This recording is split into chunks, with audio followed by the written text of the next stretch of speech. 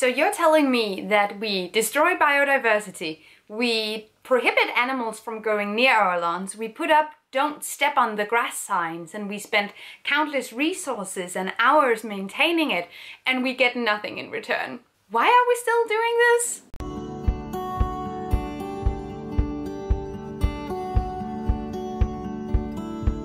Hello everybody and welcome back to my channel. My name is Gittemary and today we are talking about lawns and the impact of lawns.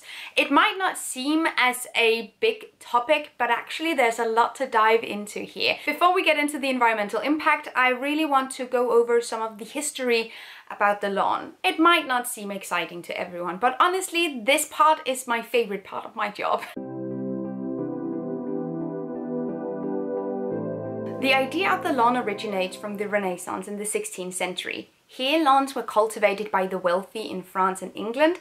However, lawns were not planted with grass at first, but rather with an assortment of smaller plants like thyme and chamomile. The word lawn stems from the Middle English word laund, which originally referred to an opening in the woods free of trees. Early examples of the lawn were made around castles that gave the guards a clear view of enemies that might be approaching. The more closely cut grass lawns that we know more of today originated around the 17th century in England, France and Scotland. The closely cut grass lawn was a clear sign of wealth because it required a lot of resources to maintain it. Mind you, there wasn't really any machinery to help people do this, so all the lawn maintenance were done by hand. The sign of wealth also came from the notion that you could show other people that you could spare this entire land to do nothing and you didn't require everything to be made into fields to grow crops. Opulence.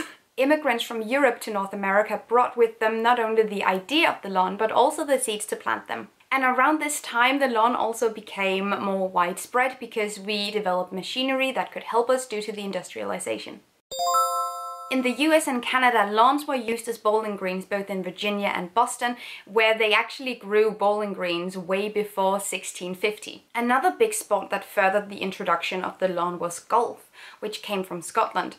The first courses in North America were established in Montreal in 1873 and in Quebec in 1875.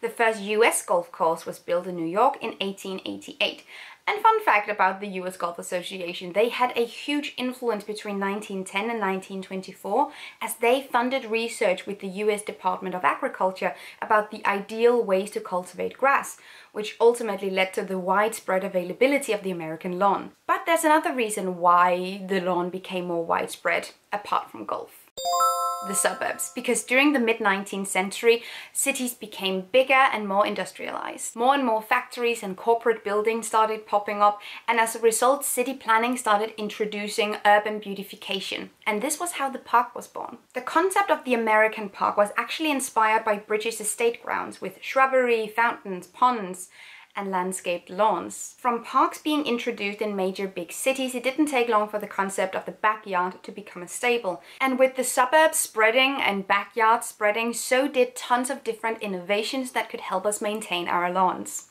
One of them being more and more effective lawn mowers, but more importantly, consumers started buying pesticides and herbicides to maintain their lawns. And it's during this era in the suburbs that the idea of the weed-free lawn became the standard. Ceylons had all kinds of small, closely cut flowers and shrubbery in them all up until the 1950s. Clover, for instance, was only categorized as a weed in the 1950s because one of the more widely available broadleaf herbicides that became available at this time accidentally killed it alongside with dandelion. So the company started using these weeds in their advertising because they knew most consumers had them present in their lawn.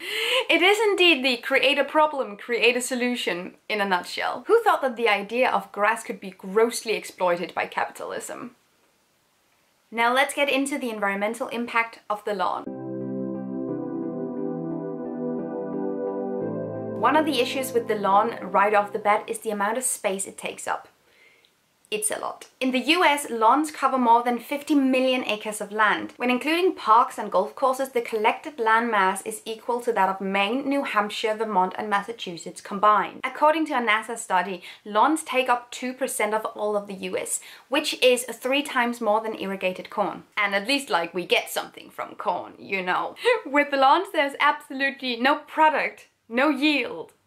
Nothing. Yes, this annoys me very much, thank you. Then there's also the notion that a lot of homeowners end up planting exotic and invasive species. And second to deforestation, invasive species is a huge threat to biodiversity. Some of these invasive species include Irish ivy, Japanese and Chinese wisteria, as well as decorative trees like the princess tree, the Bradford pear or mimosa. When maintaining a lawn, it's also not uncommon to rake leaves and grass clippings, put them in a plastic bag and throw them away often to landfill where they will never ever biodegrade. However, garden waste would be great in a compost or even better, leaving it on the lawn could help spark biodiversity. Microorganisms and insects live in falling leaves and grass clippings and when removing them you're removing a vital part of an ecosystem. Lawns also require massive amounts of water, especially so in places where the lawn wouldn't thrive naturally. And I mean, arguably, the lawn is not a natural phenomenon and thus wouldn't necessarily thrive in any environment. But you catch my drift, right? Every year, the US use about 3 trillion gallons of water maintaining lawns. An average lawn cannot simply be maintained simply by rainwater, and as a result, about one third of all consumed residential water goes towards lawns. Let that sink in.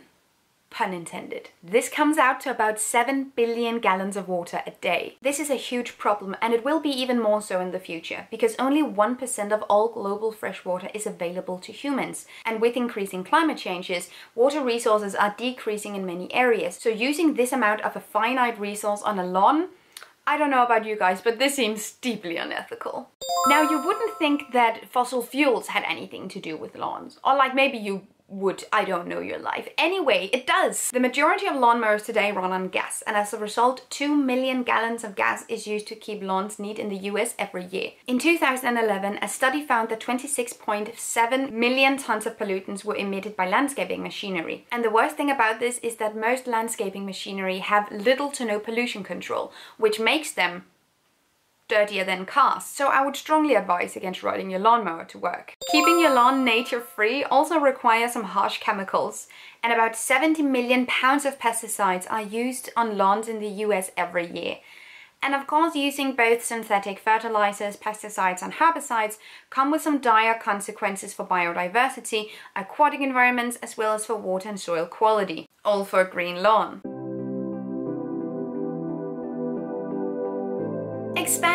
You could also definitely argue that lawns have an almost homogenizing effect. Just think about it for a second. They make neighborhoods, areas, cities all over the world look completely alike. So from that angle, you could definitely also argue that lawns have some aspect of cultural erasure. Some time ago I read a piece that was both interesting but most of all just absolutely terrifying about how neighborhoods that are predominantly black in the US have less urban beautification, have less trees, parks, lawns, grass, etc. because from a city planning perspective, it just hasn't been prioritized. In contrast, neighborhoods that inhabited mostly white citizens included lots of parks and trees and grass, etc., urban beautification.